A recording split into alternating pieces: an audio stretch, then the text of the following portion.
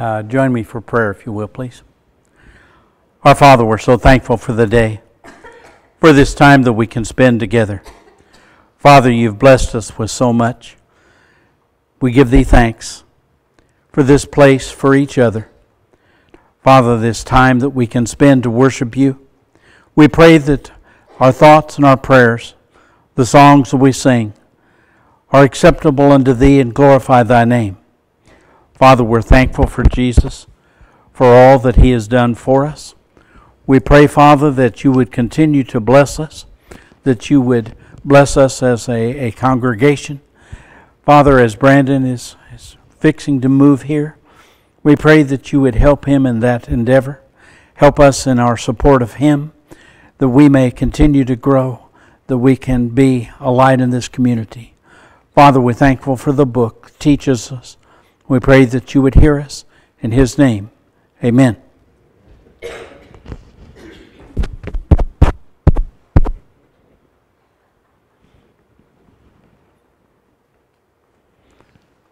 That is weird. Can you all hear me now? One, two, three, four, five. Did I not turn that on? Okay. That's our job. We have to check one another. We are trying to finish the book of Ecclesiastes. Sharon asked me if I breezed through and was finishing up today, and I said I breezed through a half a chapter. But uh, Brother Haley was the first one that I ever studied under that went through this book. And when he explained that it was not a revelation from God the way all of the other books are. And you begin reading it just to see what Solomon figured out on his own and how he oftentimes got it wrong, then it's become one of my favorite books. And uh, to read that, but you have to read it with that perspective, or it's, as one friend said, that's a depressing book. And it's really not uh, once you do it. So we have covered that. Basically, what he has learned is this, and he keeps repeating it learn to enjoy what you're doing, learn to enjoy your life here, enjoy your spouse, enjoy your work. And uh, that that's what God had made life for us to do. And so whatever stage you're in, whatever, learn to enjoy that. And that's hard. Some jobs are not enjoyable. And sometimes we get into a position where you can't just quit and walk down the street and get another job. Uh, and so sometimes you have to stick it out and tough it out. But there's other things in your life that you then begin to enjoy. So in chapter 10, we uh, started and we began talking about wisdom. And uh, we've already covered half of this chapter. The first thing he points out is, is that foolishness is just foolish.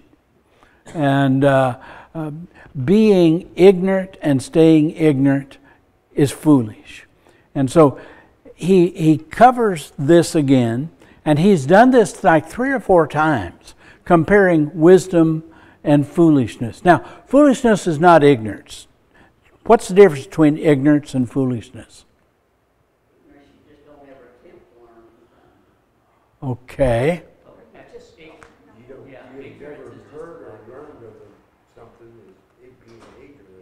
Okay. And being a fool is after you know what's right or wrong.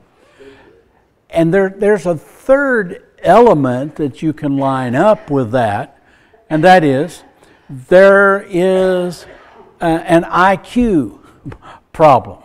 There are some people that can't learn.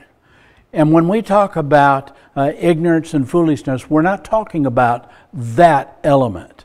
What we're talking about is people that could learn but don't, or people that have learned but don't use it. And the fool in the book of Proverbs, there was uh, four different words that were used. And they always were talking about the person that refused to listen, refused to learn. And so Solomon's just talking about that type of a fool. A fool that could do better but doesn't care, doesn't want to learn. Even when he's learned, he ignores it. And uh, uh, that's just going to lead to more and more and more problems.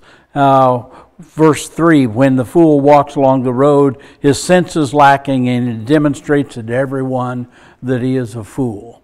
Uh, uh, it just shows. It doesn't take very long to be around certain people, and you just realize uh, they don't have any common sense about how things are supposed to work. And so, how does that work? For example, in uh, we've now, for 200 years, we've never lived under a king.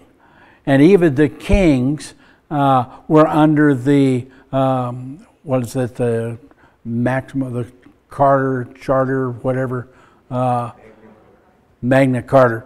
Thank you. I knew it was one of those MC words.